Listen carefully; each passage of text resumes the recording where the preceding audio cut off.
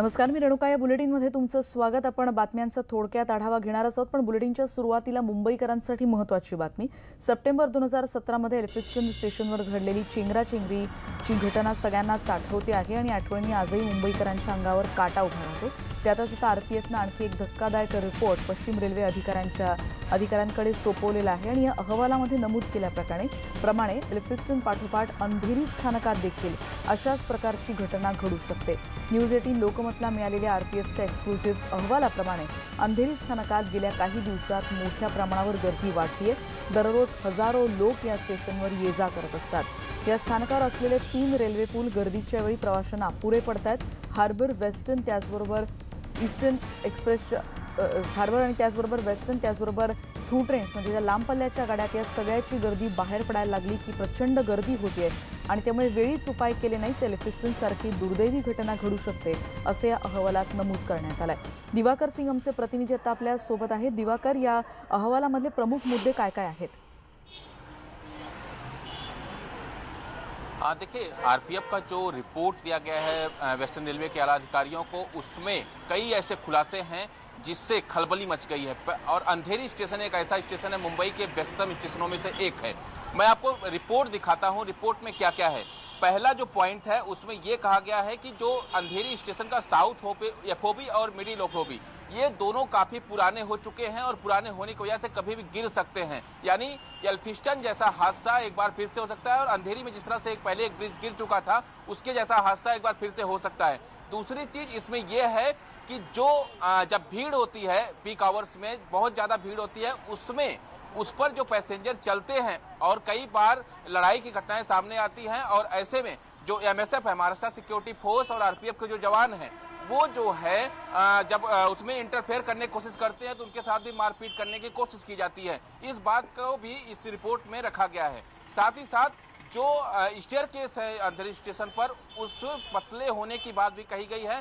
पतले होने के चलते जो क्राउड है वो काफ़ी ज़्यादा होता है और उसमें भगदड़ मचने की संभावना ज़्यादा हो सकती है। और ओवरऑल अगर इस रिपोर्ट की बात करें तो कहीं ना कहीं अंधेरी स्टेशन बहुत ही खतरनाक स्टेशन है यात्रियों को लेकर लिए ये रिपोर्ट में कहा गया है। मैं आपको कुछ फोटोग्राफ जो आरपीएफ ने सबमिट किए आला अधिकारियों को, वो भी दिखाता हूँ जो रिपोर्ट में है। मैं एक बार आपको फोटोग्राफ दिखाता हूँ। ये ये जो फोटोग्राफ्स हैं, आप देखिए यहाँ पे जो आरपीएफ के द्वारा अंधेरी स्टेशन के फोटोग्राफ्स हैं ये जो फोटोग्राफ्स दिए गए हैं आला अधिकारियों को इसमें साफ़ साफ़ तौर पर दिख रहा है कि काफ़ी भीड़ के चलते आरपीएफ और भाषा सिक्योरिटी फोर्स के जो जवान हैं, वो पहुँच नहीं पाते लोगों के बीच में और जब बीच बचाव कोशिश करते हैं तो उनसे लड़ाई की जाती है। तो ये तमाम बातें रिपोर्ट में कही गई हैं और दूसरी चीज़, जब लोग कहते हैं कि यहाँ पे अंधेरी पर खतरा है, तब रेलवे नहीं मानती और अब खुद आरपीएफ ने ऐसी रिपोर्ट दी है कि अंधेरी स्टेशन पर एल्फिशन जैसा हादसा एक बार फिर से हो सकता है और अंधेरी स्टेशन पर हज़ारों लोग जो है ट्रेवल करते हैं और एल्फिस्टन से बड़ा हादसा हो सकता है और साथ ही साथ जो ब्रिज हैं, वो काफ़ी पुराने हैं। पुराने होने की वजह से जो है वो हिलते हैं, ऐसा आरपीएफ ने कहा है और आरपीएफ ने जो रिपोर्ट दिया उसके मुताबिक वो कभी भी गिर सकते हैं। और ऐसे में अब ध्यान देने की ज़रूरत है। तीसरी जो चीज़ है इस रिपोर्ट में ये कि जब एल्फिशन का हादसा हुआ था उस वक्त एक टीम बनाई गई थी रेलवे और बीएमसी के आला अधिकारियों की। एक ज्वाइंट टीम थी जो जिसका काम था अलग अलग स्टेशनों पर जाकर इंस्पेक्शन करना ब्रिजों का और साथ ही साथ क्या कंडीशन है उसके बारे में ऑडिट करना और फिर उसकी रिपोर्ट देना। आरपीएफ ने उस रिपोर्ट को, उस टीम की रिपोर्ट को लेकर कहा है कि 2017 में ये कहा गया था कि इस रिपोर्ट में आने के बाद अंधेरी स्टेशन पर जो सुझाव दिए गए हैं सुधार के उसे दूर किया जाएगा, लेकिन एक साल बीतने के बाद भी किसी तरह का कोई कार्रवाई नहीं की गई। तो ज़ाहिर सी बात है, आरपीएफ का कहना है कि अगर कोई घटना होती है तो उनके ऊपर ब्लेम किया जाता है कि आरपीएफ के अधिकारी नहीं थे, या फिर आरपीएफ के जवान मौके पर मौजूद नहीं थे, महाराष्ट्र सिक्योरिटी फोर्स के जवान मौजूद नहीं थे, और इसीलिए ये घटना हुई। लेकिन जिस तरह से इंजीनियरिंग डिपार्टमेंट जो होता है, जो पुलों को ऑडिट देखता है, इंफ्रास्ट्रक्चर देखता है, और साथ ही साथ एमआरबीसी के जो लोग होते हैं वो लगातार इस पर निगरानी रखते हैं। आरपीएफ ने कहा असे अनेक मुद्दे या आरपीएफच्या अहवालामध्ये नमूद करण्यात आले. दिवाकरकडून आपण अधिक माहिती घेत असतो पण या संदर्भात आपण रेल्वे संदर्भात रेल्वे प्रवासी संघटनेचे वर्षानुवर्ष काम करणारे समीर जवेरी आता आपल्यासोबत आहेत. समीरजी हा अहवाल खुद्द आरपीएफनं सबमिट केलेला आहे आणि ज्यामध्ये स्पष्टपणे म्हणण्यात आलंय की अंधेरी स्थानकावरच्या या सगळ्या या सगळ्या गर्दीमुळे कदाचित एल्फिस्टन सारखी पुनरावृत्ती होऊ शकते. आणि तसा रिपोर्ट जर सबमिट केला असेल तर तुम्हाला काय वाटतं? ही किती गंभीर घटना आहे? गंभीर गोष्ट आहे मुंबईकरांच्या दृष्टीनं. नहीं वो हो, एकदम सही बात है देखिए मुंबई में जो है समय समय पे जो है रेलवे की जो ट्रैफ़िक और पैसेंजर की जो मूवमेंट है, वो चेंज होती है। पहले चर्चगेट जो था, वहाँ पे बहुत ट्रैफ़िक था पैसेंजर का भी वहाँ कम होके जो है अंधेरी का जो सबर्बन का सेक्शन है, वहाँ पे जो मेट्रो ट्रेन हो गई है और जो कमर्शियल हब जो बांद्रा कुला कॉम्प्लेक्स में सेट हुआ है। तो वो सेट जो है, ज़्यादा ट्रैफ़िक बढ़ा है। और गवर्नमेंट रेलवे पुलिस कमिश्नर ने मैंने माहिती अधिकारी से लिया था, उन्होंने खुद ने रेलवे प्रशासन को सजेस्ट किया है कि प्लेटफॉर्म पे जो कैंटीन है, वो आप पहले हटा दीजिए। क्योंकि जब ट्रेन आती है, कई सौ लोग एक साथ उतरते हैं, हर डिब्बे से कई सौ लोग चढ़ते हैं। और प्लेटफॉर्म में कैंटीन होने की वजह से वहाँ भी एक भीड़ भाड़ हो जाती है। तो कम से कम कैंटीन से हट जाएगी प्लेटफॉर्म से, ठीक है, स्टेशन के ईस्ट या वेस्ट में उनको अलर्ट कीजिए, चलेगा। क्योंकि अभी हर दो मिनट में सबर्बन स्टेशन है। और लोकल जो पैसेंजर से हर स्टेशन के बाहर रेस्टोरेंट भी है। कैंटीन थी पहले जब स्टेशन के बाहर कुछ भी खाना पीना मिलता नहीं था, जो खास करके बारका की ट्रेन है। दूसरी बात, जो स्टेशन पे भीड़ भाड़ है और स्टैम्पेड की आशंका हो सकती है। तो उनको ट्रैफ़िक मैनेजमेंट करना है एंट्री एग्जिट के पॉइंट और क्लियर करने हैं। पैसेंजर को जो है जो एक क्यू से कैसे जाना है, वो पूरा डिसिप्लिन बना के वहाँ पे उनको एक टेम्पररी अभी आरपीएफ के सिक्योरिटी स्टाफ को अपॉइंट करना पड़ेगा.